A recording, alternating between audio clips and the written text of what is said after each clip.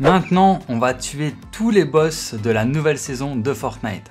Alors il faut savoir qu'il y en a 4 au total. Ils sont représentés par ces petits piédestals que vous pouvez voir sur la map.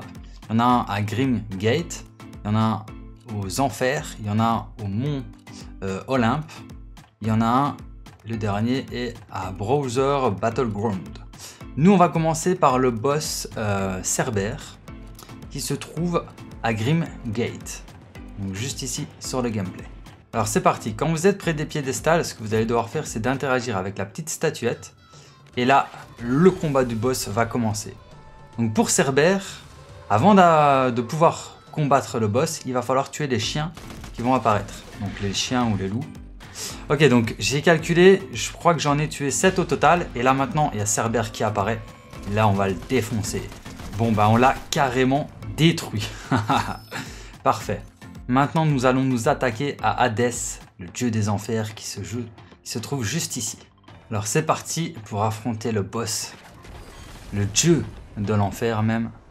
Euh, donc là c'est pareil, là il va falloir éliminer les sbires qui vont apparaître pour pouvoir se battre contre Hadès.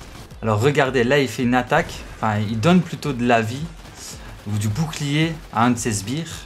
Donc celui-là, il est un peu plus résistant, mais c'est pas très grave. Alors au final, je pense que j'en ai tué 6 ou 7 aussi. Donc voilà, et maintenant, je vais pouvoir me battre contre Hades. Ah ouais, et carrément, il rappelle des, sbires. Ah ouais, tranquille. Ah ouais. Oh, il utilise son attaque spéciale. Alors son attaque spéciale, euh, c'est un pouvoir qui n'est pas encore disponible pour le moment. Mais il arrivera en cours de saison sur Fortnite. pour l'instant, on ne peut pas avoir son pouvoir. Et prochainement, on pourra. Et voilà, on l'a défoncé alors le prochain sur la liste, c'est Ares qui se trouve à Browser Battleground. Et pour bien le provoquer, comme d'habitude, on casse leur statue. Tac Et maintenant, on attend qu'il apparaît. Ok, donc là, c'est encore la même chose que tout à l'heure. Il faut tuer les sbires pour avoir accès à Ares. Et là, j'ai calculé 7 sbires que j'ai dû éliminer avant de voir apparaître Ares, qui n'est pas encore apparu. Ok, c'est bon, le là.